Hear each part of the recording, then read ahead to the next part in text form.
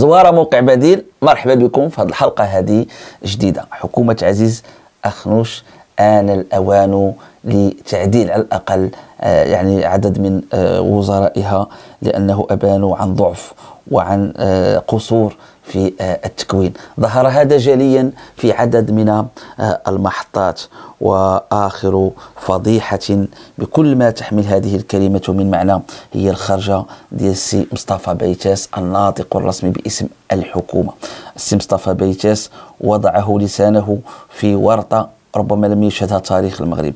قال بالأمس وهو في التصريح الحكومي من بعد المجلس الحكومي قال آه، بأنه النظام الأساسي لأطر الاكاديميه وأنا كتبتها بالحرف. قال لك ماشي قانون ماشي مرسوم ماشي قانون ماشي مرسوم ماشي آه، قرار. هو عبارة عن النظام الأساسي ديال ديال الأكاديميات. كتعرفوا بأنه ماشي قانون ماشي مرسوم ماشي قرار. ماشي قانون ماشي مرسوم ماشي قرار. هو عبارة عن عن هنا بياض عن هو شنو قال لك؟ هو عبارة عن آه، موقع بين وزير آه، المالية ووزير التربية الوطنية. موقع ما بين وزير المالية ووزير التربية الوطنية. أنا أدعوكم المتتبعات والمتتبعين لهذه الحلقة. ان تستمعوا بإمعان إلى إمعان وأن تقفوا عند هذه المحطة وهذه الفضيحة التي لا تغتفر. لا تغتفر وزير حكومة المغاربة وأمام العالم كيسمع. اليوم قبل ما نخليكم تسمعوا لهذا الفيديو لابد ما نقول لكم هذا هو الفضيحة القانوني اللي كنا كنهضروا عليها دائما كنهضروا على الأساتذة. مع كامل الأسف ما قدرتش حقها في النقاش. ولكن اليوم سبحان الله جاء الوقت فين تبان الفضيحة اللي كاينة اليوم حقيقية. واللي مسؤول عليها السي رشيد بن المختار والسي بوسعيد والأستاذ عبد الإله بن كيران ومسؤول عليها عز اخنوش وعبد اللطيف وهبي كلهم تعاقب وورطوا الشعب المغربي وصورة المؤسسات وورطوا البلاد في هذه الفضيحة اللي بيتاس هو اللي غيبينها. قال ونعاود قبل ما نخليكم تسمعوا لأهميتها. قال لك هذا النظام الأساسي ديال القانون ماشي قانون ماشي مرسوم ماشي قرار هو عبارة عن النظام الأساسي ديال ديال الأكاديميات. كتعرفوا بأنه ماشي قانون ماشي مرسوم ماشي قرار. ماشي قانون ماشي مرسوم ماشي قرار. هو عبارة عن عن ماذا؟ هو عبارة عن لأنه عارف حيث هو محامي. هو محامي وكيعرف بأنه لا يستقيم هذا الوصف. ما قالوش الوصف القانوني. قال هو عبارة عن عن موقع. شنو هو ذاك اللي عبارة عن؟ ذاك اللي موقع شنو هو؟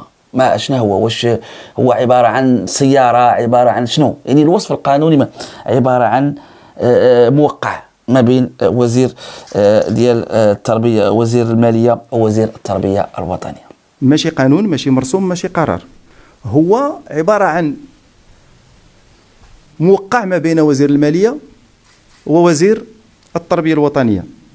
اذا هذه فضيحة ما بعدها فضيحة وأنتم سمعتوا الفيديو. القصة اللي كيخفيوها عباد الله وللتذكير فقط هو انه في 2016 في شهر غشت خرج واحد آه، المرسوم. هذاك المرسوم أتاح للاداره العمومية على أنها تعاقد الإدارة العمومية. يمكن لها تعاقد لشي poste باش يخدم شي واحد. سي رشيد بن المختار هو وزير للتربية الوطني وهذا أسوأ وزير عرفوا يعني التعليم في تاريخ المغرب. كاين عدد من الوزراء هذا أسوأهم على الإطلاق. أسوأهم ما كنهضرش عليه كإنسان من ناحية المسؤولية والتدبير. هذا السيد هذا هو ما منتمي حتى شي حزب وديال الخطوره ديال التكنوقراط. إنه ما عنده حتى شي حاجة ما, ما منتمي الحزب ما عنده وازع سياسي ما عندوش شي وازع إيديولوجي ما عندوش شي حاجة اللي اللي تضبط سلوكه. حيت التكنوقراطي هو أخطر إنسان. ما تسالوش غدا في الانتخابات ما عندوش وازع فكري ويعادي الديمقراطيه وقواعد الديمقراطية ويذبح القانون ينقلب. هو لا يؤمن التكنوقراطي. ما عندوش هذا هذا الإشكال ديال ديال ديال, ديال القواعد والحرمة القواعد القانونية. جا هو اش دار دابا هو؟ هو بوسعيد بوسعيد اللي كان والي في, الدار البيضاء ومن بعد ولا وزير ديال المالية واللي هو ديال الأحرار. تجمعوا يوم انتخابات أو عشية انتخابات. الدنيا خاوية البرلمان ما كانش. لاحظوا معايا الخطورة كيفاش كاينة. مشاو وقعوا. صحيح هو لحد الساعة ما تقدرش هذيك الوثيقة واش عندها صفة ديال دورية؟ واش اتفاق؟ واش قرار؟ واش مقرر واش إطار ما ما لا راه علاش هو دابا بيتاس وحال حيت هو الله فضح ديك الفضيحة حيت هي ما عندهاش ولكن واش بغاو يديروا؟ شدوا داك هذاك الاتفاق اللي كان هذاك المرسوم ديال ديال الإدارة اللي قالت ممكن تعاقد مع شي واحد حيت دابا الخطورة فين كاين في التعاقد علاش الناس كيحتاجوا؟ راه شنو كلمة كنتعاقد معك كنتعاقد معك لأجل شهر شهرين عام عام واش ممكن تعاقد مع شي إنسان حياته كلها؟ عن التعليم هذا. ما يمكن لكش تعاقد أستاذ. إلى جانب الاشكالات الأخرى اللي خلات الناس يحتجوا على التعاقد لأنه كيعطيك واحد البنيه الاستقرار النفسي ما تكونش مزيانة لأنه ممكن يجري عليك أي واحد في أي لحظة. عدد من الإشكالات ما نرجعكمش لهذا الإشكال ديال التعاقد لأننا هضرنا فيه بزاف. الفضيحة اللي وقعت هو أن بوسعيد ورشيد المختار بغاو يدخلوا كانوا الأقسام عامرين بزاف القسم ولا فيه 70 كي غنديروا كي غنديروا. donc شدوا اعتمدوا على ذاك المرسوم اللي خرج غشت. ففي أكتوبر خرجوا ديك الوثيقة. سي بن كيران سكت. هذه الفضيحة الخطيرة والخطيرة جدا لأن ذاك العمل اللي دار بوسعيد مع آه، مع مع, مع رشيد بن المختار مصادم لأول مبدأ اول ماده من قانون الوظيفة العمومية اللي كتقول حق ومصادم للدستور مصادم لعدد من الأشياء. ولكن هما دوزوها تما استغلوا الفراغ البرلماني استغلوا الناس مشغولين بالانتخابات وقعوا ديك الاتفاقية. فمن بعد بقاو واحلين عاد بقى كيكتمل ذاك النظام حتى في عهد أمزازي عاد بان هاد المادات اذا السي بيتاس منين كيجي كيقول عن يعني هو عبارة عن. هو عبارة عن عن علاش؟ لأنه ما عندوش وصف قانوني ديك الإجراء اللي داروا ديك عباد الله. مخالف للدستور مخالف للقانون. وأنا شرحت البارح بما يكفي وعطيت واحد الإشارة في غاية الأهمية. اش كنقولوا في هذه الإشارة؟ راه ما يمكنلكش تهضر على استقلالية شي مؤسسة. ما تمكنلكش تهضر عليها اذا ما كانش عندها استقلال المالي. أهم استقلالية. أنت ما عندكش استقلال المالي. الفلوس دابا اللي كيتخلصوا بها الأساتذة منين كتجي؟ كتجي من واحد الحاجة كتسمى المعدات. شنو هي المعدات؟ هذه ميزانية كتخص المعدات. فيها كنشريو بها الستيلو كنشريو بها الطوابل مثلا كنشريو بها شي حاجة للمدرسة. هذيك هي الفلوس اللي كيتخلصوا بها الأساتذة المتعاقدين. ماشي بحال الأساتذة الموظفين اللي كتجي من الخزينة العامة واللي عندهم ها, ها وجه الخطورة. بمعنى واحد إلا درنا دابا شي لجنة ديال افتحاجات حقيقية مشات الاكاديميات راه غيلقاو مشكل غيلقاو مشكل عميق. راه ما واضحش هذا الإشكال هذا آه، القانوني. إذا السي هو محامي ورجل قانون عرف هذا الإشكال. إلى جانب أنه وعى أنه أكبر فضيحة كاين في هذا الموضوع هو فضيحة ديال قاعدة توازي الأشكال أو توازي توازي القواعد. وسبق لنا شرحناها أن المغرب كيلتزم في, في القانوني بهذه العملية ديال توازي القواعد.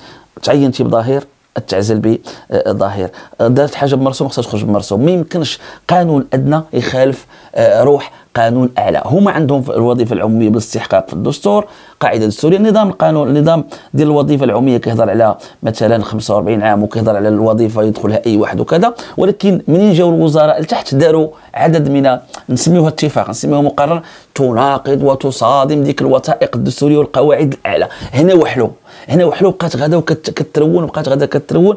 حتى كما تنقولوا ما حد كتقاقي وهي كتزيد في البيض. فهذا الشيء علاش بانت الفضيحة ديال السي بيتاس وبالأمس بان السي بيتاس في موقف زعما مؤلم جدا. وهنا كنا كنقول لكم دائما المغاربة انتبهوا للأمن القانوني. ما كناش كنقولوها فابور كاين الأمن الغذائي كاين الأمن الصحي كاين الأمن المدرسي كاين كاين عدد. ولكن كاين الأمن القانوني. اليوم المغاربة ولاو كيحسوا بأن القواعد تقدر تقلب القواعد تقدر الدستورية تقدر أي حاجة. وهذه فيها حتى ربما واحد التهيئ للشعب المغربي على أنه ممكن يتعايش مع كل لأنهم كيعتبروا ربما أن الدستور ديال 2011 جاب واحد القواعد وجاب واحد السياق وأن السقف والقواعد والقامة ديال القواعد كبر من داك الشيء اللي باغيو فلقاو مشاكل مع داك الدستور. اذا هذا الدستور الا جينا نعدلوه هكا غتنوض الروينة خليه هو تما ولكن على الأقل نخليو الناس يطبعوا مع الانقلاب عليه ومع وهذا الشيء اللي دخلنا في هذه المتاهات القانونية وحتى وصلنا لهذه الفضيحة ديال السيد البارح. ما عن هو عن شنو هو ديك عن؟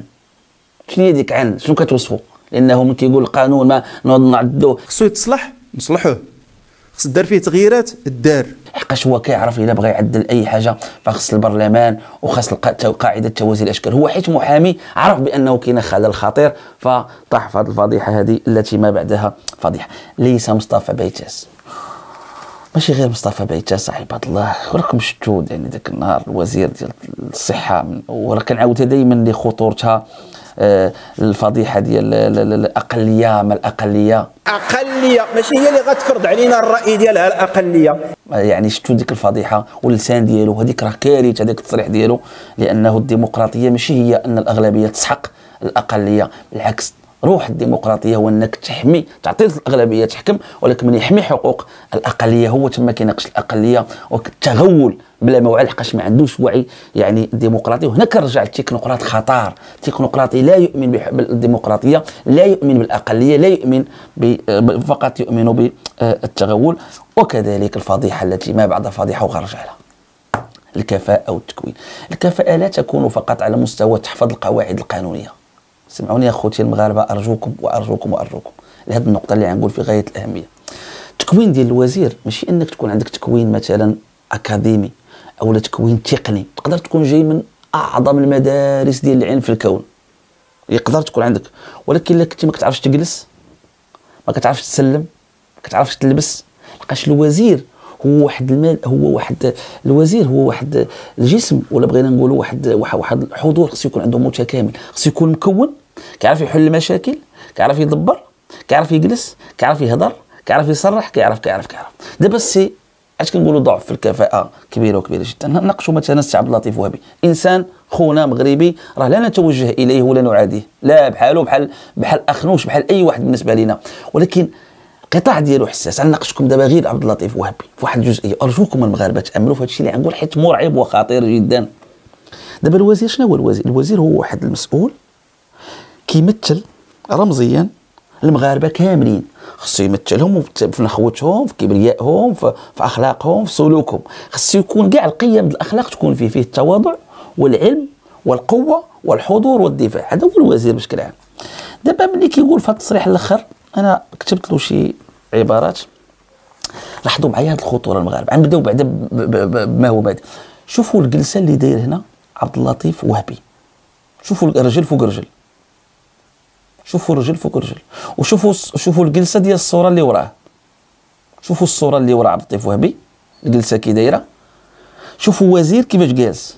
وهاد الجلسة هذا رجل فوق رجل هذاك الصورة يعني بحال جالس في الدار يعني كلشي كيشوف المغاربة والعالم كيتفرج في ديك الجلسة. بما ديك الرجل حاطة علينا كاملين حنا.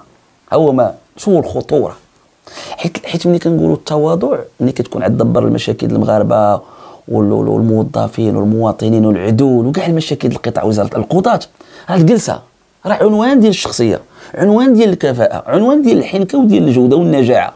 غير جلسه ما معنى كدير هكا رجل فوق رجل؟ انت ما جالسش في الدار ديالك. مثلا بيت ساد عليك جلس هكا تقدر تكون جالس بيتك رجليك لصقهم في السطح وراسك هبطوا لتحت. أما لا أنت جالس مع العالم. وهذاك العالم كاين ما يسمى. كاين واحد القواعد ديال دابا ملي كدير هذاك هذاك السلوك بسيط. ينم عن التعجرف والغطرسة. ينم عن تعالي بمعنى هو متعالي على ذاك الصحفي اللي قدامه رجل فوق رجل. متعالي لاحظتوا التعالي فيه كيبان حتى في قاموسه منين قال هو الفيسبوكيين؟ نحن الحكومة. والآخرون الفيسبوكيون المواطنين ما كيفهموش. حينما جئنا كوزراء يجب ان نتخذ القرارات الصحيحة. وليس القرارات التي يريدها الفيسبوك وتريدها وسائل التواصل الاجتماعي. والجلسة ديالو ماشي أول مرة كيدير ديك الجلسة. غتلاحظوا الجلسة من جاي يتشاور مع السي اخنو شوفوا الجلسة كيفاش داير. جلسة. يعني لاحظوا ديك الجلسة تما ولاحظوا هذه الجلسة. وهذا السيد يعني يمكن نقول علاش كنقولوا راه راه كاينة أزمة؟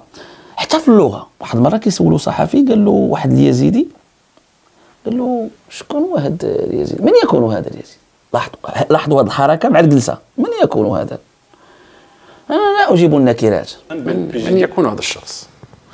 أنا لا ارد على النكرات. لا لا الفكرة أنا لا أجيب النكرات من ناحية اللياقة واللباقة والحكومية والمحاماة ولو ذاك الشخص يكون وكرم خصك تواضع مع البشر كامل. اذا أعطاك الله العلم ولا أعطاك الله الجاه ولا أعطاك الله الكرسي ولا حافظ على تواضعك. من تواضع لله رفعه. اذا وزير خصو يكون بغض النظر على استراتيجيته الحكوميه والمشاكل اللي غيحل يقدر يكون كاع يقول أنا غنواجه المحامون وغنواجه لا خصك تكون في الجلسة. فمن يكون هذا؟ انه نكره انه الجلسة. كدير رجل فوق رجل وكتحدد هذه العملية. والخطورة فين؟ كاينة خوتي المغاربة. لاحظوا شنو قال هنا؟ قال لك أنا عندي في المرسوم لي. أنا عندي أنا عندي. شكون أنت؟ حنا ما كنهضروش لغة التواصل عمرنا ما كنقولوا أنا. أنا بعض المرات لاحظت هو المغاربة كنكون كنهضر. مثلا خصك نركز كنقول أنا. صح ما خصكش تقول أنا. وخطأ خطأ. كتقول حنا حتى هذا الفيديو اللي كندير مثلا المغاربه كنهضروا فيه. راه مشارك فيه. أنا المو... الاخ التقني المونتاج المصور فهو عمل متكامل. عملية التواصل خصنا نقولوا حنا. راه بعض المرات كتلاحظوا كنقول كنرجع لديك النون كنهضر بالنون لأن النون فيه واحد يعني عمل متكامل في عدد من الأشخاص. فلما كتقول نتا وزير أنا عندي أنا عندي. أنا عندي في أنا عندي في المرسوم. فين عندك؟ في تارودانت في المكتب ديالك المحاماة. فين عندك؟ في الميت في الدار اللي ساكن فيها. هذه الوزارة ديال المغاربة ما كاينش عندك. راه وزارة فيها فريق. ديك راه وزارة ديال الشعب المغربي ديك راه مؤسسة. هذيك عباد الله راه واحد المؤسسة دستورية. كيفاش أنا عندي؟ أنا عندي. اذا هذا أصبح هذه هي الدولة أنا و... الدولة أنا وأنا الدولة اللي قال الآخر. أنا الدولة أنا عندي. فين عندك؟ أين بلاصة عندك؟ يعني اللغة هي اللي كتعكس حقيقة الإنسان الداخل في اللغة. أنا عندي في المرسوم اللي كيدخل الوظيفة عندي الحد الأدنى عندي أنا. أنا عندي الحد الأدنى. أنا عندي في أنا عندي في المرسوم. غيدخل الوظيفة عندي حد أدنى. ودي راه اقطاعيه محلابة. أنا عندي. هذه بوحدها. لو كنا في كنا كنا ناخذوا حنا عارف يعني يعني أنا عندي في المرسوم اللي كيدخل الوظيفة. أنا عندي الحد الأدنى. أنا عندي. واش هذه المغاربة لغة؟ نهضروا بها مع, مع الشعب المغربي. نجيو نقولوا أنا عندي أنا لم شوية تيقول؟ أنا مؤمن. أنا مؤمن. كيهضر دابا على بن موسى أنا مؤمن. دابا دابا واش واش هذه لغة؟ واش هذا لغة؟ عباره أنا مؤمن باش. واش حنا في الزاوية؟ واش حنا في الكنيسة؟ في الجامع. الإيمان مجاله التعبد والدين حنا حنا في مجال وضعي.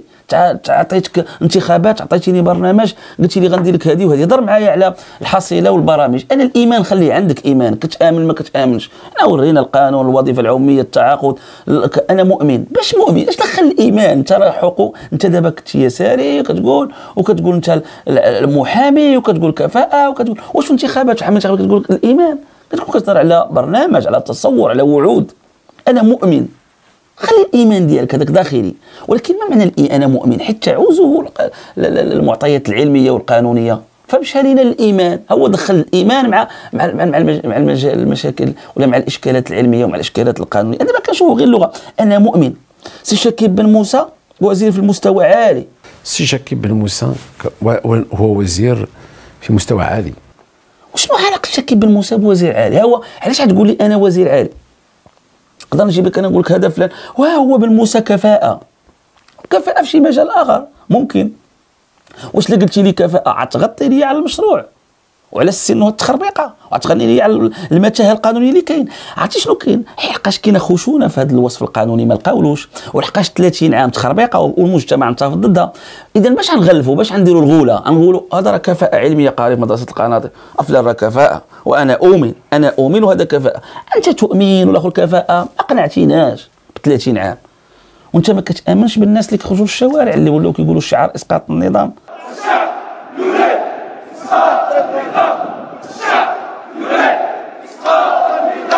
ما لاحظتيش الخطورة؟ هذه ما كتأمنش بها ما كتخلعكش. الناس خرجوا في عدد من المدن وما كتأمنش بهذه الأسر المغربية مساكن اللي جالسه دابا ولادها شنو غيديروا كتأمن عبد الموسى. وهاد التحديات وهاد الناس غيخدموا من هاد علاش تسد على بنادم؟ علاش؟ علاش غتسدوا على بنادم؟ ياك كتقولوا ميريكان ودولة ديمقراطية. أنا نخليكم تسمعوا لهذا التسجيل الصوتي. كتعرفوا المغاربة في أمريكا؟ كيقول لك السيد أنتم هذا الشيء كنعرفوا السن في السن والجنس لأنك منين جيتي؟ والعرق واللون ولا الدين. إلا ج- وأخطر السن ما يمكنلكش شي مشغل في ميريكان يحرم شي إنسان من العمل بناء على لونه حقا أنت أبيض أو لا بناء على عرقه أو لا مثلا بناء على الدين ديالو أو لا مثلا بناء على السن.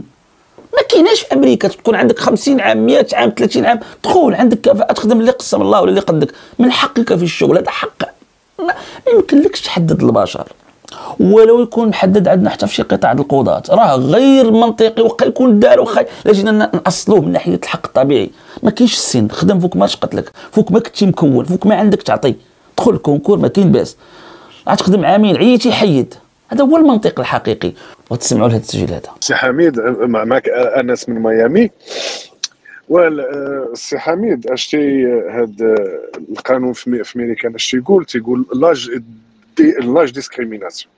ça veut dire que ما يمكنش إنك تمنع الوظيفة على شي واحد. في مكان على ال- على العم العمر ديالو وعلى العرق ديالو وعلى الديانة ديالو على اللون ديال الب- الب- البشرة ديالو أو الجنس ديالو. فو l'âge عنده واحد واحد التاثير كبير. علاش؟ تيقول لك أي واحد عنده الحق في الخدمة واخا يكون عنده حتى 80 عام. الق- القانون تيعاقب في أمريكا المشغل إلى إلى ما إلى إلى إلى إلى رفض إنه يوظف يوظف هذا السيد هذا ب آه، آه، بدون يعني على على على على على السن ديالو ولا على العرق ديالو ولا على الدين ديالو ولا على الجنس ديالو ولا اللو- اللون ديالو. ولكن ضروري أن الاج ما خصكش توقف شي واحد ما, ما- تخدمش شي واحد على السن ديالو. السن ما عنده حتى شي علاقة مع مع الوظيفة كما كانت. لا لا لا- مع الحكومة ولا ولا مع ولا في الخاص. ماشي غير أمريكان في ألمانيا. نخليكم تسمعوا التسجيل الصوتي. ألمانيا تيقول لك السيد ام مرته ربات وكبرت وحتى دارت 50 عام ودخلتك تقري في التعليم. السلام عليكم السي حميد المهداوي كيف حالك؟ لاباس عليك. آه، معك بدر من ألمانيا وأنا يعني آه، كنت جيت لألمانيا كطالب ودرست هنا في ألمانيا وأشتغل هنا ك يعني مهندس. آه، الأصل ديالي من مدينة الدار البيضاء يعني احتمت باش آه، تعرف شكون أنا. دابا سمعت الفيديو ديالك ديال هذاك سميتو المسألة اللي داروا في المغرب ديال 30 سنة وبغيت نقول لك يعني بالنسبة لألمانيا أنا عندي يعني آه، أم زوجتي هي ألمانية ودخلات كتقري على 50 سنة. عاد دخلات تقري على 50 سنة. وهنا ما كاينش الحد آه، يعني الأدنى ديال ديال لا الدراسة ولا يعني أنك تدخل تدخل تقري فوق. ما بغيتي تدخل تقرا وتكمل الدراسة ديالك كاين بعض الناس يعني بعض النساء كي يتزوجوا بكري كيولدوا وليداتهم كيبقاو مقابلين وليداتهم. آه، فاش وليداتهم كيكبروا آه، كيوصلوا مثلا آه، كيكون في عمرهم يعني 20 آه، يعني 40 سنة بحال هكاك. فعاد كي ولا- ولادهم كبروا كي عاد كيلقاو الوقت فين يقراو هما فكيدخلوا يدرسوا. الدراسة يعني ال- ال- الجامعية كيديروا ثلاث سنين مرة خمس سنين على حساب هذاك. هما وصلوا 45 عاد فاش كي يدخلوا يقراو عاد كيدخلوا يقريو في المدارس العمومية. يعني لاحظ كيفاش الناس في ألمانيا في عدد من الدول ما عندهمش مشكل ديال السن عباد الله. علاش حنا بالضبط كيفرضوا علينا هاد, هاد المنطقة هذا السي هاد وهبي هذا كنقول الكفاءات؟ واحد اللحظة تيقول السي شكيب بن موسى عالي واش انت وظيفتك تقيم الأداء ديال الوزراء؟ واش انت وزير عدل ولا ولا ولا, ولا انت رئيس ديال وزير التربية الوطنية؟ إيوا الناطق الرسمي باسم الحكومة يهضر على الوزير اللي جابها رئيس الحكومة يهضر على الوزراء ديالو. ماشي منسق. أنت وزير عدل. أش داك تنقط الوزير آخر في قطاع آخر؟ ولو يسولك الصحفي؟ آه ما كل واحد يجاوب في القطاع ديالو. أنت كتقول هذاك السيد كفاءه وتفاليدي له المادة ديالو وتفاليدي له بأي حق؟ علاش؟ لأن غنرجعوا للتعالي. لحقاش هو في المخيال ديالو السي وهبي أنه رئيس الحكومة واخا هو أخلص رئيس الحكومة. فلا شعوره هو هو رئيس الحكومة. غينقط لهذا وينقط للسي فلان وهذا كيفاش داير وهذا اش كيسوى وهذا مزيان هذا ماشي مزيان هذا عالي كفاءة هذا ناقص كفاءة. لأنه في اعتقاده أنه هو أكبر من الحكومة.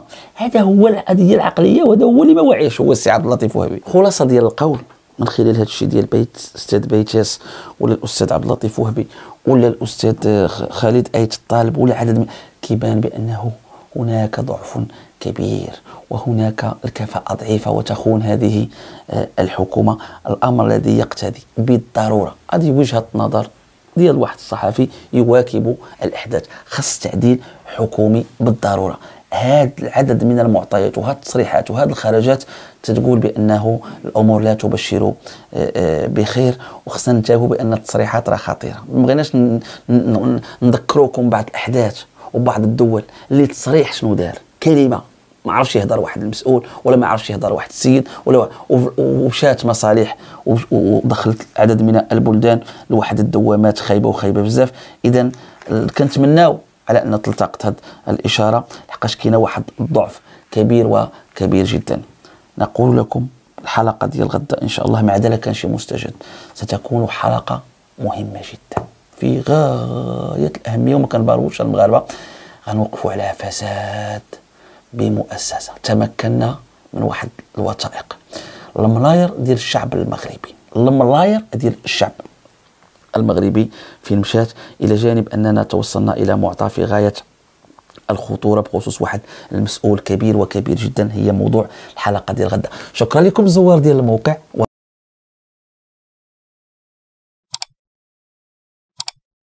رجل صالح لا تفوته صلاة الجماعة. يذهب إلى عمله بالنهار وبعد الانتهاء من عمله يذهب ليصلي العصر بالمسجد الملاصق لبيته. ثم يدخل بيته هادئا بشوشا فتستقبله زوجته والتي كانت مثله تماما.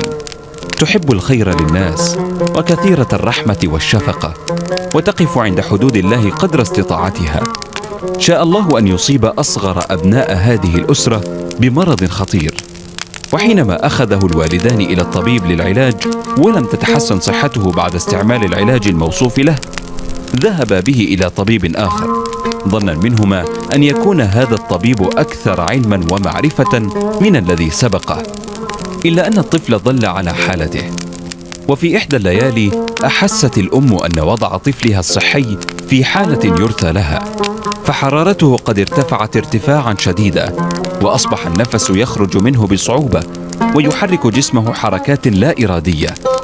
فظلت الأم ساهرة لا تنام. يقول والده في تلك الليلة صحوت على صوت المؤذن لصلاة الفجر فاقتربت من طفلي المريض لأتأكد من صحته فوجدتها لا تبشر بالخير وأمه بجانبه وقد أخذتها إغفاءة من النوم وعلى وجهها علامات الحزن. فتركتها على هذه الحالة وتوضأت لأذهب إلى الصلاة. فوجدت هناك ثلاث قطط تموء من الجوع. عند ذلك فتحت الثلاجة وأخرجت منها شيئا من اللحم وأطعمت القطط الثلاث. وبعد أن أطعمت القطط دعوت الله تعالى أن يشفي صغيري. وأنا على يقين بأن الله تعالى شكور وسوف يشكر لي صنيعي ويشفي ابني.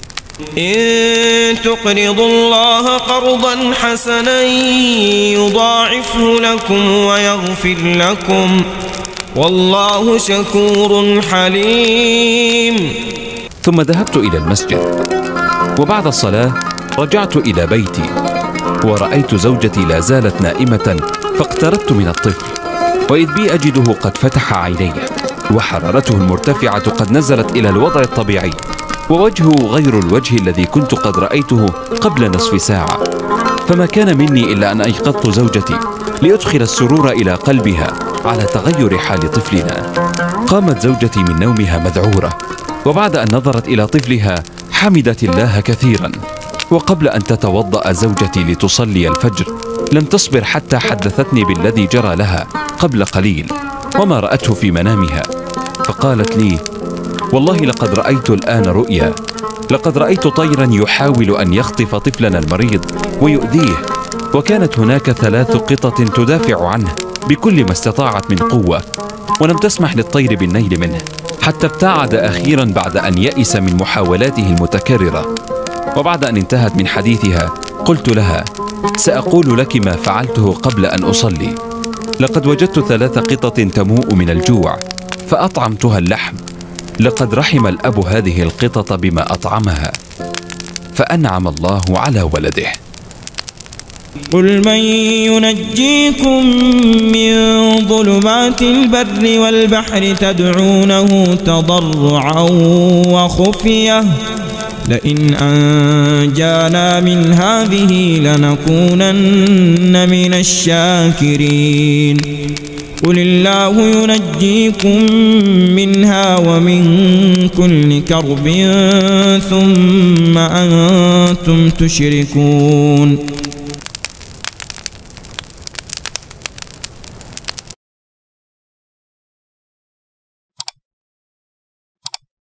إلى اللقاء.